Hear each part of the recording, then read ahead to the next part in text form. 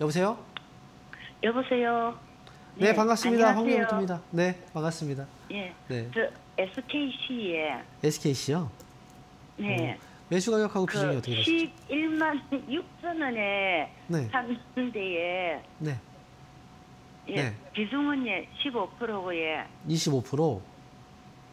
예. 아, 15%요? 예. 네. 제 오늘 귀가 잘 안 들리나 봐요. 자, 11만 6천 원에 15%. 어, 예. 아 자. 11만 10 11만 6천 원이요. 네, 예, 11만 6천 원에 15%. 그죠? 예. 예. 네. 자, 그러면 SKC를 이 가격에 사셨다면 최근에 사신 거죠? 예. 네. 얼마 안 됐어요. 얼마 안 되셨어요? 음, 예.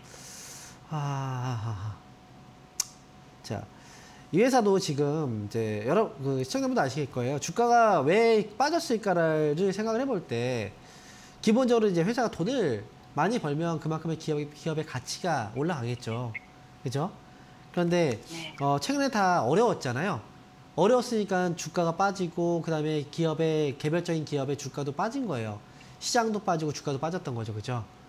SKC도 어, 이 기업이 하고 있는 사업도 경기에 또 민감하기 때문에 그래서 2022년도에 실적을 잠깐 보면은 2022년도는 지난해죠, 그죠? 지난해 이 기업이 적자를 기록을 했어요. 그죠? 그동안에 이익을 잘 내다가 적자를 기록했단 말이죠.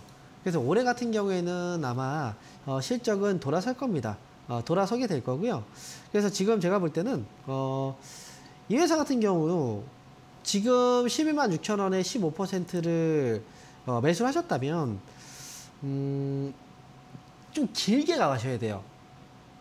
이 회사 매수하실 때 단기로 보실 생각으로 매수하신 건 아니죠.